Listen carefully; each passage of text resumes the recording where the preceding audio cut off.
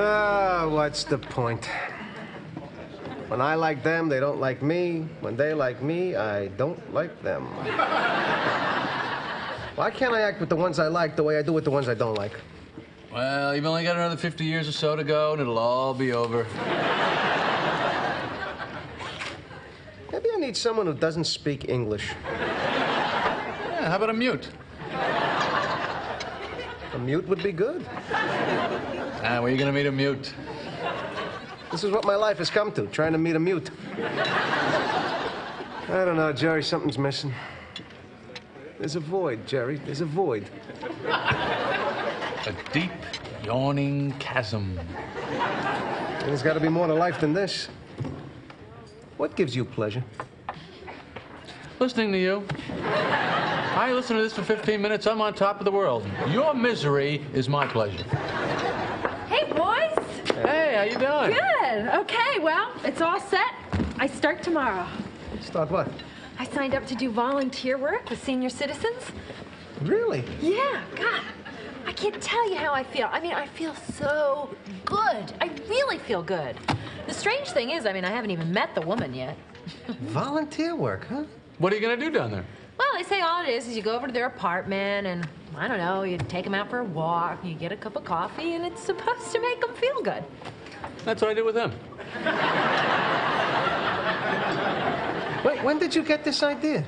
Last time I had lunch with you here, you were going on and on and on about how you wanted to meet somebody who didn't speak English.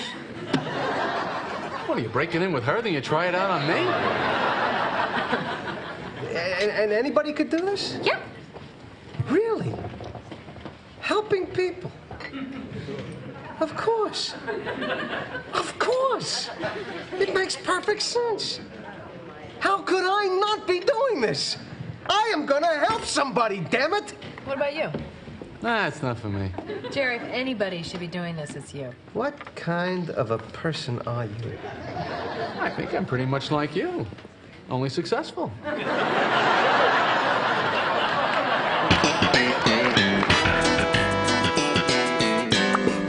wonderful thing you're doing. They're so grateful just to have someone to talk to.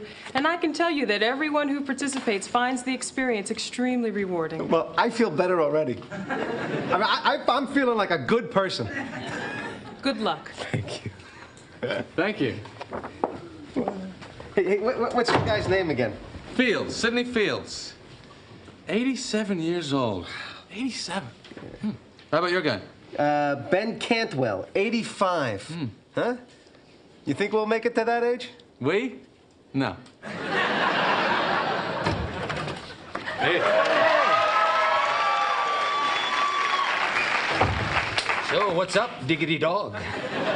George and I just signed up with the Senior Citizens Volunteer Agency. Same thing Elaine's doing. Oh, that's too bad. I don't say I didn't try to warn you. What are you talking about? Oh, Jerry, I'm surprised at you. What? It's a con.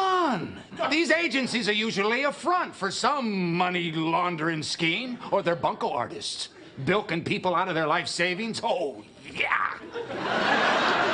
Where did you get this? The alternative media, Jerry. That's where you hear the truth. Kramer? Huh? Kramer? Kramer! Where are you? Kramer! Kramer! Come on, I'm in here. Come on. There you are. Yeah. Hello, Newman. Jerry, George, so did you ask him about the records? Well, yeah. What records? Uh, well, uh, Newman and I are going partners, selling used records.